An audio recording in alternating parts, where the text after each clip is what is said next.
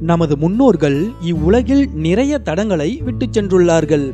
பிற கலாச்சாரங்களால் புரிந்து கொள்ள முடியாத அத்தடங்களின் பூர்வீகம் பற்றி விஞ்ஞானிகளும் ஆய்வாளர்களும் வரலாற்று வல்லுநர்களும் இடையராது ஆய்வுகள் செய்து கடந்துவிட்ட கற்காலத்தை நமக்கு ஆவணப்படுத்தி வருகின்றார்கள். என்றாலும் எவ்வளவு முயற்சிகள் செய்திடினும் இன்னும் பல கேள்விகளுக்கு விடை கிடைக்காமல் மர்மமாகவே இருக்கின்றது. அவ்வாறான ஐந்து பண்டைய மர்மங்களை பற்றி இப்போது பார்ப்போம். பராகஸ் கேண்டலப்ரா. கேண்டலப்ரா ஆஃப் தி ஆண்டிஸ் எனவும் அழைக்கப்படும் இந்த கற்கால மர்ம வடிவமைப்பு பெரு நாட்டில் உள்ள பராக்கஸ் தீபகற்பத்தின் வடக்கில் கடற்கரையோரம் உள்ள ஓர் இறுகிய செம்மண் குன்றின் மீது செதுக்கப்பட்டுள்ளது. ஆறுநூறு அடி நீளம் கொண்ட இந்த பிரம்மாண்ட மர்ம வடிவமைப்பு கிமு இருநூறில் உருவாக்கப்பட்டிருக்கலாம் என நம்பப்படுகிறது. ஓர் கொத்து விளக்கின் தோற்றத்தில் செதுக்கப்பட்டுள்ள இந்த வடிவமைப்பு எதை குறிக்கிறது என்பதை ஆய்வாளர்களால் உறுதிப்படுத்த இயலவில்லை. ஒரு தரப்பினர் இது பண்டைய இன்கா பழங்குடி மக்கள் படைக்கும் கடவுளாக வழிபட்ட வீரகோச்சா எனும் கடவுளின் நினைவாக உருவாக்கப்பட்ட சின்னமாக இருக்கலாம் என கருதுகின்றார்கள்.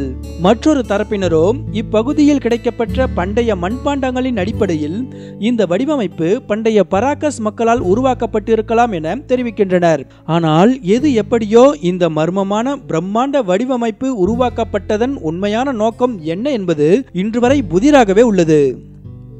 தோனிஸ் ஹெராக்லியோன் கிட்டத்தட்ட இரண்டாயிரத்து எழுநூறு ஆண்டுகளுக்கு முன்பு பண்டைய எகிப்திய துறைமுக நகரமான தோனிஸ் ஹெராக்லியோன் எனும் நகரம் மத்திய தரைக்கடலுக்கு செல்வதற்கான ஓர் நுழைவாயிலாக இருந்து வந்தது. ஆனால் இந்நகரம் எதன் காரணமாகவோ கடந்த ஆயிரக்கணக்கான ஆண்டுகளுக்கு முன்பாக கடலுக்குள் முழுவதுமாக மூழ்கிவிட்டிருப்பதை கடந்த இரண்டாயிரமாவது ஆண்டின் முற்பகுதியில் தான் கண்டுபிடித்தார்கள். டைவர் குழுவினர்கள் சிலர் மத்திய தரைக்கடலில் உள்ள அபுகிர் கடற்பகுதியில் மூழ்கி நீந்தி செல்லும்போது அங்கு பண்டைய கலைப்பொருட்கள் மூழ்கி இருப்பதைக் கண்டு ஆச்சரியமானார்கள். அவர்கள் மேலும் அப்பகுதியை ஆய்வு செய்ய அங்கு பாலங்கள் பதினாறு அடி உயர சிலைகள் மிருகங்களை ஒத்த சிற்பங்கள் என முழுமையான ஒரு நகரமே கடலுக்குள் மூழ்கி இருப்பதைக் கண்டு பிரமித்து போனார்கள். ஆனால் தொல்பொருள் ஆய்வாளர்களால் ஒரு நகரமே கடலுக்குள் முற்றாக மூழ்கி போக என்ன காரணமாக இருக்கும் என்பதை கணிக்க முடியவில்லை. இருப்பினும் கிமு முதலாம் நூற்றாண்டின் முடிவில் பூகம்பம் சுனாமி கடல் மட்ட உயர்வு போன்ற காரணங்களால் கிமு எண்ணூறுக்கு முன்பாக தோனிஸ் ஹெராக்லியோன் நகரம் கடலுக்குள் முற்றாக மூழ்கி இருக்கலாம் என ஆய்வாளர்கள் நம்புகின்றார்கள். லீனியர் ஏ. லீனியர் ஏ மற்றும் லீனியர் பி என்பது இரண்டு தனித்தன்மை வாய்ந்த ஆனால் ஒரே மாதிரியான இரு எழுத்து வடிவங்களாகும். லீனியர் ஏ எனப்படும் எழுத்து வடிவம் ஐரோப்பாவின் வெண்கல காலத்தை சேர்ந்த மினோவான் நாகரிகத்தை சார்ந்ததாகும். லீனியர் பி எனப்படும் எழுத்து வடிவம் பண்டைய கிரேக்கத்தின் மைசீனியன் நாகரிகத்தை சார்ந்ததாகும். லீனியர் பி எழுத்து வடிவமானது தனித்தனி எழுத்துக்கள் அல்ல என்பதையும் அவை ஓர் சொற்குறியீடு என்பதையும் கடந்த ஆயிரத்து தொள்ளாயிரத்து ஐம்பத்தி இரண்டாம் ஆண்டு தொல்லியல் வல்லுநர்கள் ஆய்ந்தறிந்தனர். ஆனால் லீனியர் ஏ எழுத்து வடிவம் எழுத்துக்களா அல்லது சொற்களா என்பதை ஆய்வாளர்களால் இதுவரை கண்டறிய இயலவில்லை. டோகு.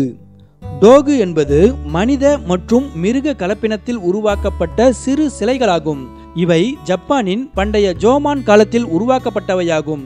இதுவரை சுமார் பதினைந்தாயிரம் டோகு சிலைகள் ஜப்பானின் பல்வேறு பகுதிகளிலிருந்து கண்டெடுக்கப்பட்டுள்ளன. இவை சுமார் இரண்டாயிரத்து முன்னூறு முதல் பத்தாயிரம் ஆண்டுகள் பழமையானதாக இருக்கலாம் என தொல்லியல் வல்லுநர்கள் தெரிவித்துள்ளனர். களிமண்ணால் செய்யப்பட்ட டோகு சிலைகள் பத்து சென்டிமீட்டர் முதல் முப்பது சென்டிமீட்டர் உயரம் வரை இருக்கின்றன. பெரும்பாலும் பெண் உருவத்தை கொண்டுள்ள இச்சிலைகளின் இடுப்பு பெரியதாகவும் வயிற்று பகுதி சிறியதாகவும் கண்கள் பெரியதாகவும் வடிவமைக்கப்பட்டுள்ளது. ஆனால் இச்சிலைகள் அக்காலத்தில் என்ன நோக்கத்திற்காக பயன்படுத்தப்பட்டன என்பது தெரியவில்லை. இருப்பினும் விளையாட்டு பொம்மைகளாகவோ அல்லது வழிபாட்டுக்குரிய சிலைகளாகவோ அக்கால மக்களால் இவை பயன்படுத்தப்பட்டிருக்கலாம் என தொல்லியல் ஆய்வாளர்கள் நம்புகின்றார்கள்.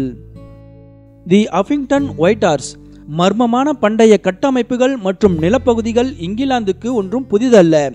அங்கு ஏற்கனவே மர்மம் சூழ்ந்த ஸ்டோன்ஹெஞ்ச் உள்ளிட்ட கற்கால கட்டமைப்புகள் பல காணப்படுகின்றன. அவற்றில் ஹஃபிங்டன் ஒயிட் ஹார்ஸ் எனும் பிரம்மாண்ட குதிரை வடிவ வடிவமைப்பும் ஒன்று.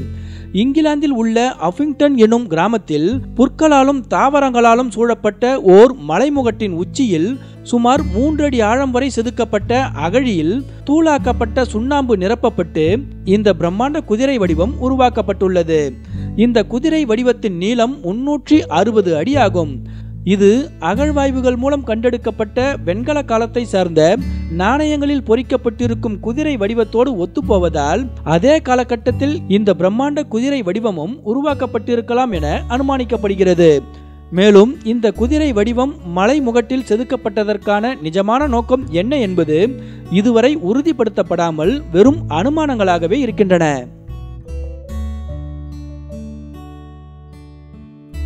இந்த தகவல் உங்களுக்கு பிடிச்சிருந்தா லைக் ஷேர் கமெண்ட் பண்ணுங்க. மேலும் இது போன்ற சுவாரஸ்ய தகவல்களை உடனுக்குடன் தெரிந்து கொள்ள எஸ்எஸ் டிவி தமிழ் சேனலுக்கு சப்ஸ்கிரைப் பண்ணுங்க.